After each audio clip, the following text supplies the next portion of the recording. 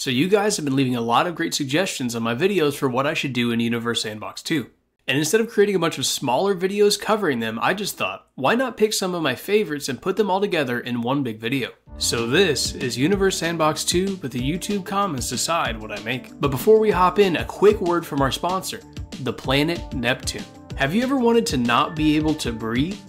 What about being immediately crushed under the weight of 17 times gravity? Maybe you'd like to freeze to death in a giant cloud of hydrogen. If you said yes to any of these questions, then I have the perfect vacation pack. Just kidding. On to the video. Hello everybody, welcome to Universe Sandbox, and today, like I said earlier, we're going to be making whatever the audience tells me to make. So first off, we got an overrunner with maybe make the Earth roughly Jupiter sized and also put scaled down versions of the planets around it. Like if the real Jupiter can have dozens of moons, then this can work. I'm imagining I'm gonna make a Jupiter centric model, just because Jupiter is the biggest planet and has the most mass, everything can orbit it. Okay, here we are in an empty simulation. I'm gonna get myself a Jupiter, boom, Jupiter, and then I'm gonna get myself a copy of every single planet and try to put them in some sort of a orbit around Jupiter. Should I put Jupiter itself around Jupiter? That'd be weird. No, let's just go with Saturn. Um, I'm going to make it smaller though, kind of like the comment suggested. Just scale them down after I get them all into place. Um, I think probably everything until Mars is fine, but Saturn is way too big for this. That looks more stable. This looks like a somewhat respectable orbit, but I'm making it farther away for sure. This looks alright, but I'm just going to pop down a safety save because this stuff never works first try. Let's see if this works. So with only changing the, the size of Uranus, Neptune, and Saturn, we have ourselves a Jupiter centric solar system, which I think is what he wanted. If I misread your comment, I apologize. In fact, if I misread anybody's comment, I apologize. And I wonder what happens if I put the sun into this equation. I can't imagine anything good. Uh, hmm. That kind of worked. Oh, it didn't. Oh yeah, that was all the that was the calamity I was expecting. Hey, we still got Jupiter and Mercury though. Apart from all the other explosions, that seems to be doing fine. Jupiter is out of here, man. Okay, well I did what you wanted. The sun didn't work, but you know what are you gonna do? Crazy idea: terraform the Earth. Okay, I can do that. Okay, let's come down here, grab an Earth. Oh wow, it's terraformed. That was easy. Helioform the Earth. That's kind of interesting. I assume this to mean that we're going to change the Earth into a sun. Now, from memory here, I believe that the sun is entirely hydrogen and something else. No iron, no argon, no oxygen, sorry everybody breathing, no carbon dioxide, no water, no nitrogen. Okay, so we've now just got silicate. If I go to composition, show all these layers, and then I add in, oh, I think it's helium and hydrogen. I should look this up. 74% hydrogen and 23% helium. Helium and then hydrogens, we've got hydrogens the 0.07s. I'm gonna go 70-30 just to try to get like 100%-ish. So this is the sun's composition. If I press play right now, we made a gas giant. That's kind of a start, honestly. So how do I make it do fusion? I need me some fusion. I could probably raise this average temperature until we did fusion. That's an idea. I don't know if it's a good one. Maybe there's like a heat laser or some like a fun way to do this. There is a laser. Maybe I can just like laser it. I'm gonna need a bigger laser though, that's for sure. Interstellar powerful continuous laser. This looks like a good laser. We're gonna raise up this power, crank it up, and give me some heat. Oh, yeah, let's give me some more power too. 10 megawatts. This looks like this is doing basically nothing. Hot magic. That sounds like the thing that I need. And this laser sucks though. Preset Galactic Empire Super Laser. Uh, oh, um, is there any Earth left? And who would have thought that the Galactic Empire Super Laser would have blown up my planet? Who could have predicted that, honestly? I'm gonna go to the overview and look at the heat and maybe just see if this raises while I'm, while I'm blasting it. This is doing approximately nothing. Why is this not heating anything though? I feel ridiculous doing this. Well, I tried it the nice way. Now I'll try it the hard way. We need some freaking heat in here. Okay. Oh, that looks sun-like. You think we're fusioning? We're not quite fusioning. We don't have enough heat. Make it hotter. I see heat dropping again. Yeah, ideally a sun wouldn't cool down. That's not what suns do typically. I don't think we have any fusion going on. Maybe it just wasn't hot enough. It's not heating. Now, I do remember from a video that I made that the mass of the sun needs to be 0.08 solar masses in order to be big enough to do fusion. So here we are. Um, oh, it just needed to be a little bit bigger, that's all. Why is it expanding so rapidly though? Why is this number going up? Okay, how many suns we got? 0.08, yeah, there it is. Our solar Earth helioformed. What else we got? A guy who loves to travel says, an Earth that orbits the Earth. I can do that. Let's get our sun right here. Let's take the Earth and put it one astronomical unit away. Perfect. Ish. Almost perfect. Wait, is that 0.1 or 1.0? Yeah, I think that was 0.1 AU. We need 1 AU. Way out here. Yeah, just like that. And I add another Earth around the Earth, roughly like that. And I do need to take this mass and lower it. It's just too big. But check this out right here. Yeah, like a 33% Earth next to the other Earth. Earth 2.0. Beautiful. Looks good though. What else we got? What else we got in the pipeline here? Make a galaxy, but only with Earths. I'll try. I don't know how possible that one is. Get ourselves a random spiral galaxy. Just change all of the nebulae to Earths. Can I actually see stars if I get really close into a galaxy? No. I think I just see nebula. Okay, well that's not gonna work, but I'm not one to give up that easily. So what's probably at the center of every galaxy? Well that is a supermassive black hole of course. Okay, here's our supermassive black hole. All I need to do is just make a little galaxy around it, right? Put a bunch of Earths out here. I'm sure that Universe Sandbox absolutely loves this. what could go wrong? So what are the chances that everything just orbits how it should? Uh, I'm gonna give it a pretty low likelihood. And also, I'm sorry if you can hear furious clicking. It do be like that sometimes. Well, I'm not quite done yet. A few more Earths just to really round out this galaxy, you know? Do You think this is enough Earths? I certainly hope so. Okay. Now all that's left to do is hit play and see what happens. I gotta slow down time a little bit though. You think they're all just gonna orbit in a nice, beautiful little spiral shape? My guess is no. Oh, something got shot out. This looks crazy. Let's slow it down and just kind of check it out from inside.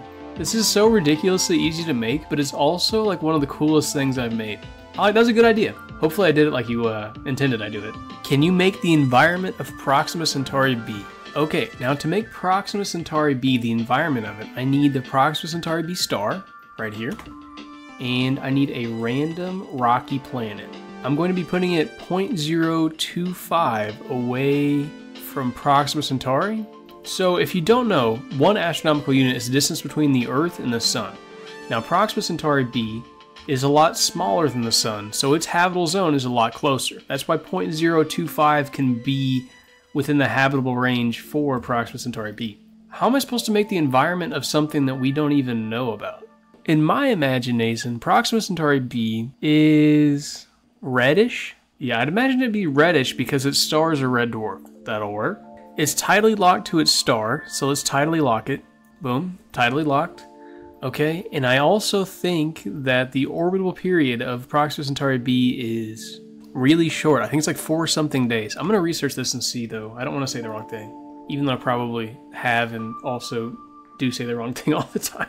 11 days. Okay, I shouldn't have put it at four days because apparently it's 11. The consensus is 11 days. So this thing should be absolutely freaking flying now. Can you imagine a year passing every 11 days? That would be wild. You're just like hauling ass through space. Now the mass and radius of Proxima Centauri b, I've got to figure out what they are. The radius should be 0.094 to 1.04. And let's find the mass, see what it's supposed to be mass-wise. Or, it's a little bit heavier than our Earth according to Wikipedia, so we'll go 1.07 Earths. Yes, it is. Okay, and then the temperature of Proxima b says it's going to be about 234 Kelvin.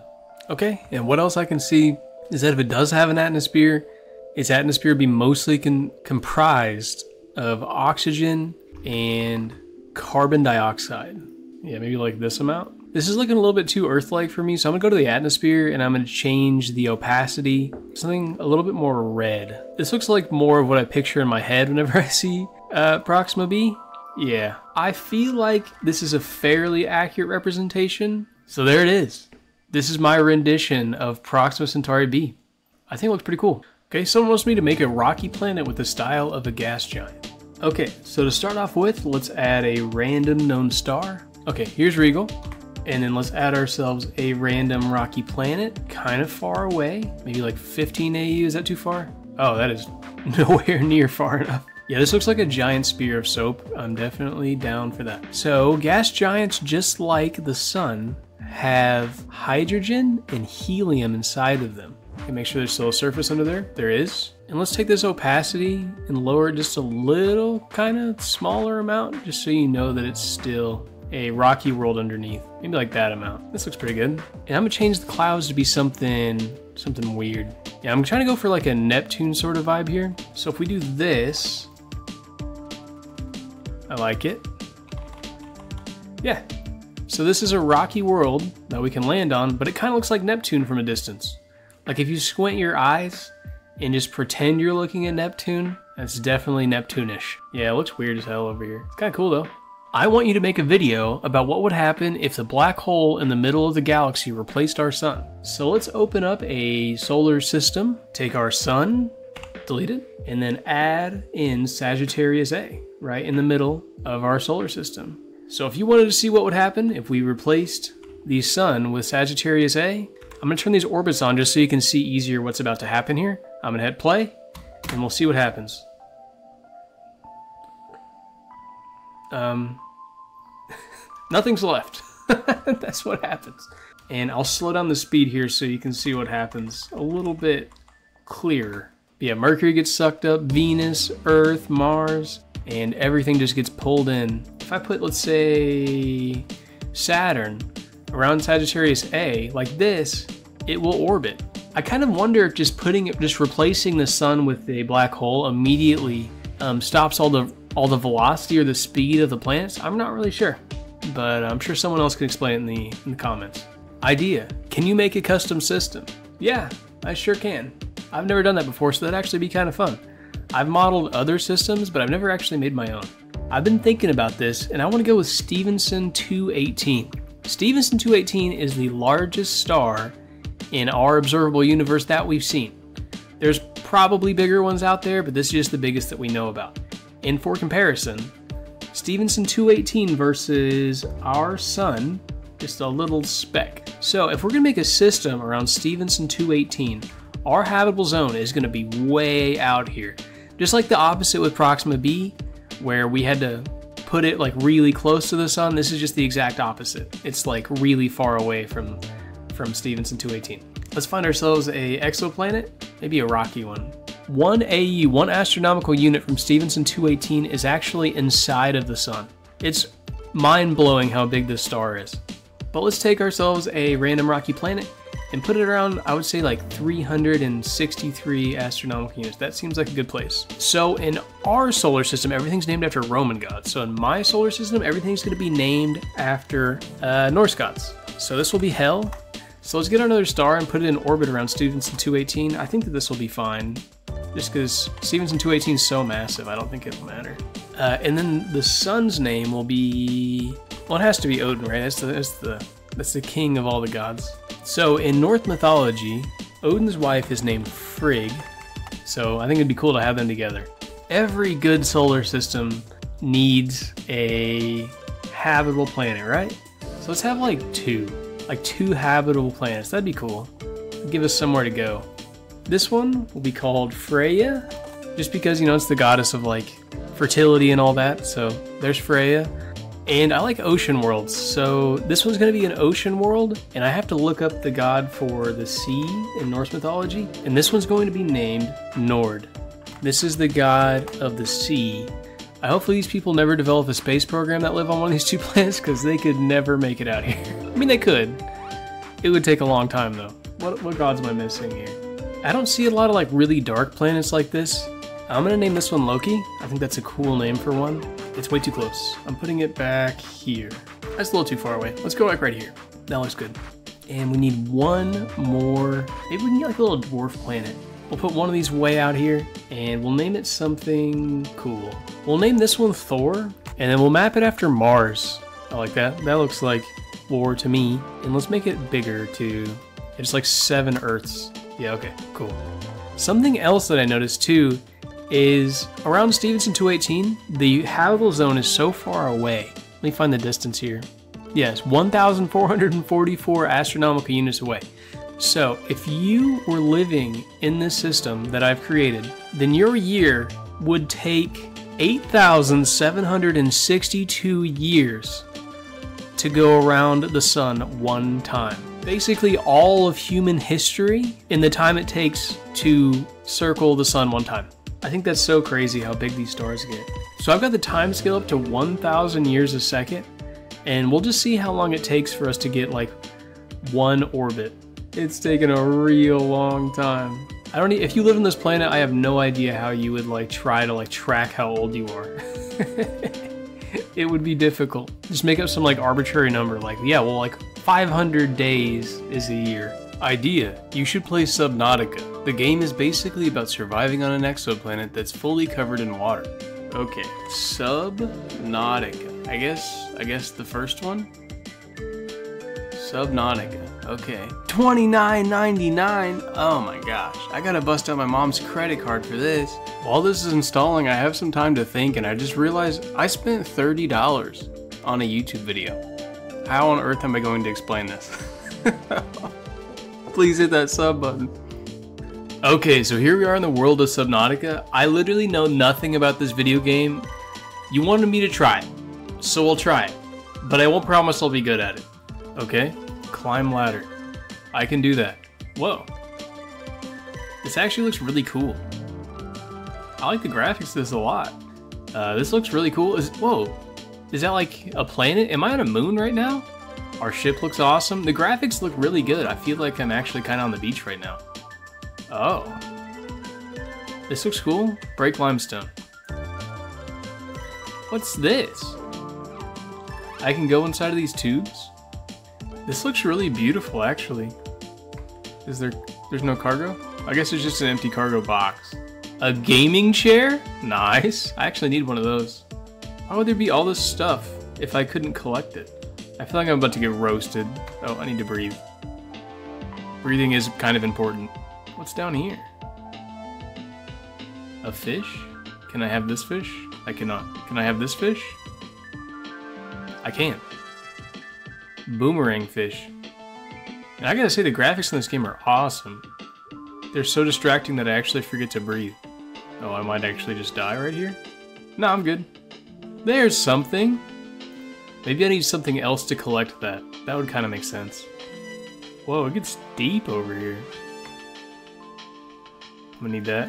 Oh my god, I keep forgetting to breathe. I know I keep saying it, but man, this looks amazing. Radiation detected? Oh. I guess that kind of makes sense. Yeah, maybe that means I'm not supposed to go there yet. Maybe there's some sort of like unlockable radiation suit or something I'm supposed to get. Oh, I'm gonna need that though. What is this? There's so many things that I just like can't pick up for some reason. What are these? Acid mushrooms? Oh, yeah. Don't threaten me with a good time. Is it just me or does like everyone almost die in this game? I didn't learn my lesson. I'm immediately swimming to the bottom of the ocean again. I can't learn my lesson. There's no way I'm making it up this time, boys. Yep, this looks like the end for me. That didn't last very long, did it? Oh, I'm not dead? Oh, I, I did die. Sorry for not playing Subnautica that long, but honestly this video is about Universe Sandbox 2 and not really about Subnautica, but if you want me to play more Subnautica, make sure to let me know down in the comments, and also, if you want a part 2 to this video, make sure to leave a comment about what I should do next. Hit that like button if you liked it, hit that dislike button if you hated it, and if you're not done watching my comment, make sure to hit this video over here in the corner. YouTube thinks you'll like it. But that's all for me, bye for now.